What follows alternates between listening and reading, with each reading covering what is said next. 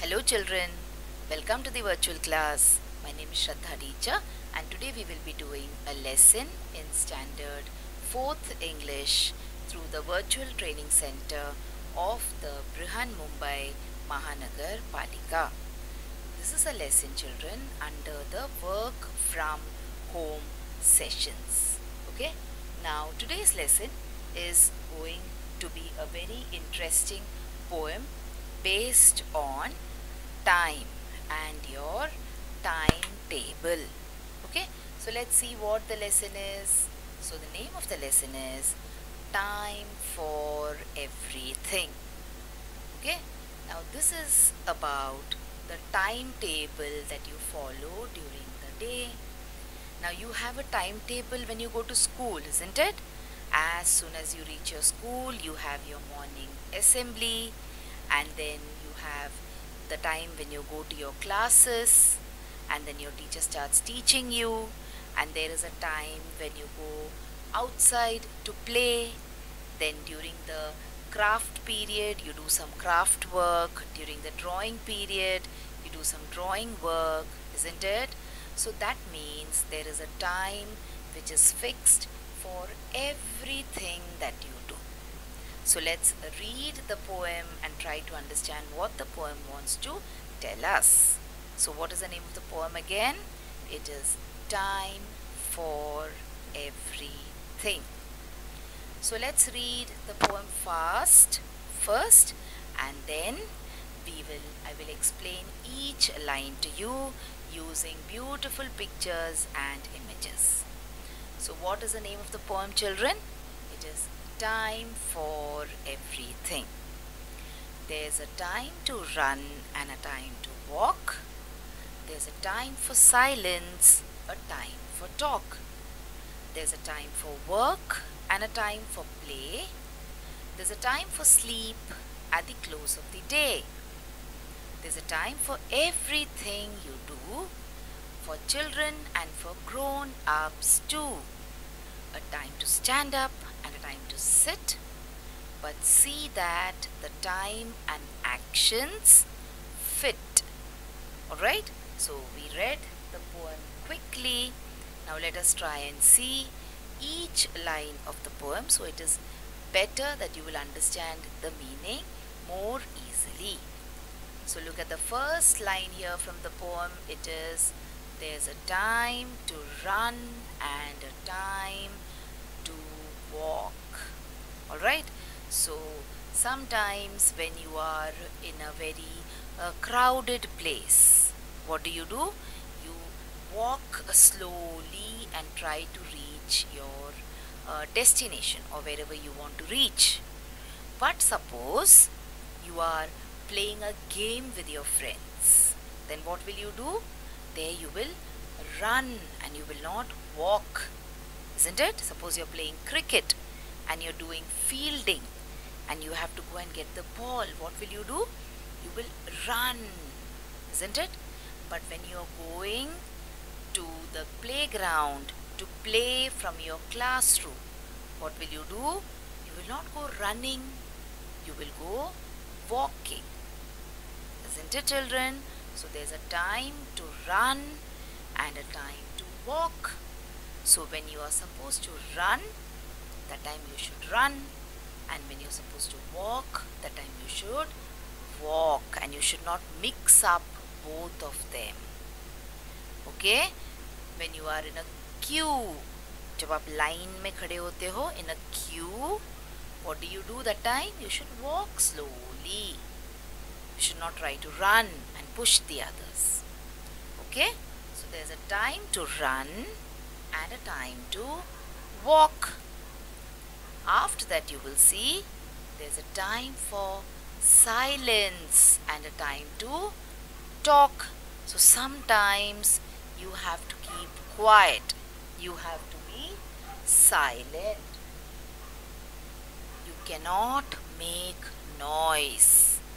In the class, when you're sitting and your teacher is teaching you, what do you have to do? You have to be silent okay you should not make noise and disturb the entire class okay So there's a time for silence and a time to talk. Now when you are sitting with your friend and your friend is asking you something, what will you do that time? You will talk.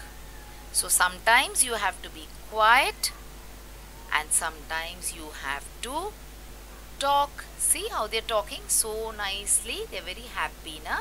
So they're talking to each other. So there's a time for silence and a time to talk. Now children, if you go to meet someone in the hospital, have you seen how an hospital is? A hospital is very, very uh, quiet. There you're not supposed to run, you're not supposed to make noise. So when you go to a hospital, you should be silent. But when you go to a party, when you go to your friend's birthday party, that time you should talk to everyone. Okay? So there's a time for silence and a time to talk. Look at the next one. There's a time for work and a time for play. So sometimes you have to work. See this child? He's doing his homework, na? So the child is working. And sometimes you get time to play. When you get time to play, you're supposed to play. But when you have work, when your teacher has given you homework, when you have an exam the next day, you are supposed to work. So there's a time for work and a time for play. See here? When you grow up also, you will have to do work, isn't it? So when there is a time for work, you have to work and when there is a time to play, you can play. Alright? So there's a time for work and a time for play. So when you are supposed to work, you should not play. And when you are supposed to play, you should avoid doing. Next, let's see the next line. There's a time for sleep at the close of day. So, at the close of day, when it is night time, what do you do? You go to sleep. See? There you have Tom going to sleep, and here you have a girl like you going to sleep at the close of day. Close of day means what? Close of day means night time. So, there's a time for sleep at the close of day. At around 9 o'clock or 10 o'clock, what should you do? You should go to sleep and take rest during the night. So, there's a time for sleep at the close of day. Let's see what is there in this now. There's a time for everything you do. So whatever work you do, there is a proper time for that. For example, there is a time to read in the night at 2 o'clock if you get up. Should you read? No, because that is a time to sleep. So there's a time to read. There is a time to eat. Isn't it? There's a particular time when you should eat. When you get up in the morning, you should eat breakfast. In the afternoon, you should eat lunch. And in the night, you should eat dinner. So there is a time for eating also. You cannot eat the whole day. Alright? And there's a time for having bath also. When you get up in the morning, what do you do first? Go to the toilet, you brush your teeth, and then you have your bath. Isn't it? So, the poem tells you that there's a time for everything you do. Not only reading, not only eating, not only having baths, but everything else. To play there is time, to study there is time, to go to school there is time. So for everything that you do, you should have a proper timetable. That is what the poem is trying to tell you. Okay, we should always work according to the timetable and we should be disciplined also. Okay, so that is what this message given by the poem here. So see, for children and for grown-ups. Now is the timetable only for children? No it is not. It is for children as well as for grown-ups. So children means like you people, all those are going to school, all those are going to college, all of you are children. And who are grown-ups? Your mummy, your papa, your nana, nani, dada, dadi, mama, mami. Okay, all these people, they are all grown-ups. Bade log. Okay, so this kind of timetable or the doing the right thing at the right time is not only for children but it is also for grown ups for children and for grown ups to a time to stand up and a time to sit. So time to stand up and time to sit means you should know what time you should do what thing. Time to stand up time to sit. Alright so what is this entire poem about? It is about this message at the end of the poem. But see that the time and actions fit. That means see that whatever you're doing you're doing at the right time. You should not get up in the middle of the night and eat okay? Or you should not do wrong things at the wrong time. You should play when you're supposed to play and you should study when you're supposed to study. So the time and your action should always fit. If your school is at 7:30 what time should you go to school? At 7:30 only you should not go very late or very early. So whatever action that you are doing should always be on time. Okay? So that is the meaning of this poem for you. Now we will look at some question answers. You will understand how to answer the questions also.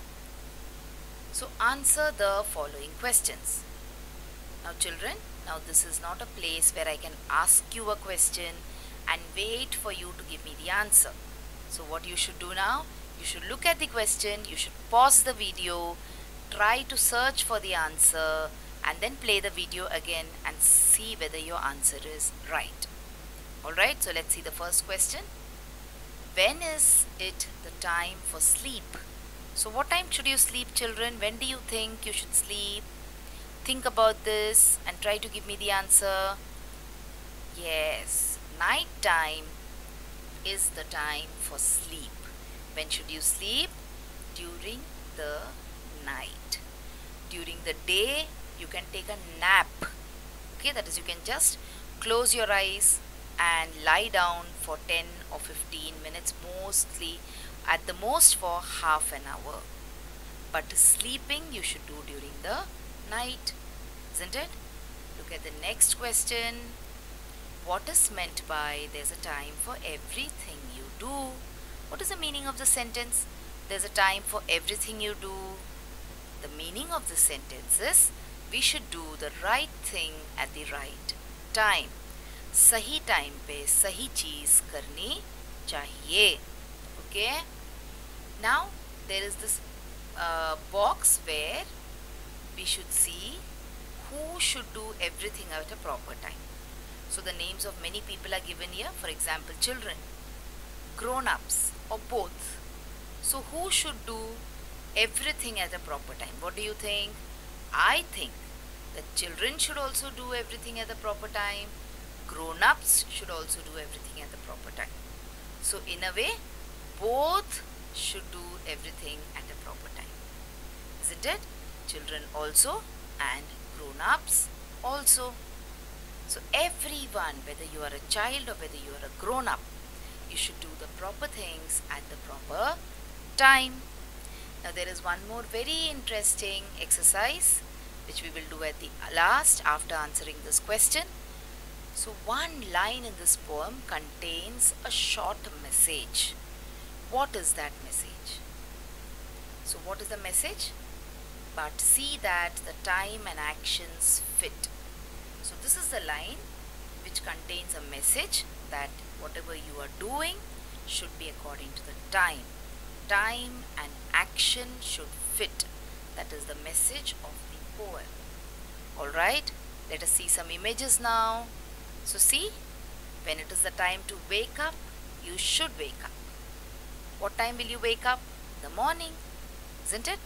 When it is a time to have lunch, you should have lunch. You should not say, Nahi, I'm not hungry now, I will eat later. You should never spoil your timetable. So when is the time to eat lunch, you should have lunch. And the next is, when it is time to sleep, that is during night time, you should go and sleep.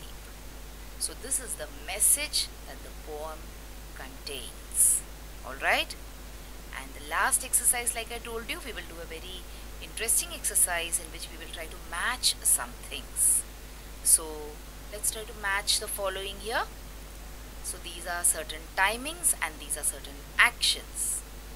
Okay, so time to talk, time to run, time to be silent and time to walk.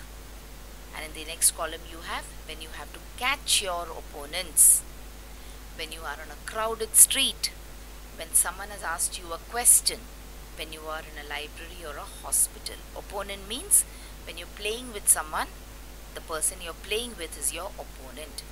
Okay? When you're playing a game or when you're playing a match. So, what is the time to talk? The time to talk is when somebody has asked you a question. So, when somebody is asking you a question, that time you have to talk. You cannot say, No, I will be silent now. Okay? That time it will be wrong action. When will you run? When you have to catch your opponents. Isn't it? That time if you walk, what will happen? You will lose the game. When will you be silent? When you are in a library or when you are in a hospital. And when will you walk?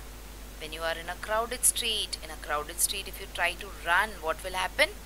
You will go and dash against people and cause injury. Isn't it? So, children, this was the poem time for everything we looked at the poem we read it we saw a lot of beautiful images and we also did some interesting question answer sessions based on this poem so that was all for today children let's meet again next time through the virtual training center of the Brihan Mumbai Mahanagar Palika to do another lesson in English. Till then, this is Shraddha teacher saying goodbye to you.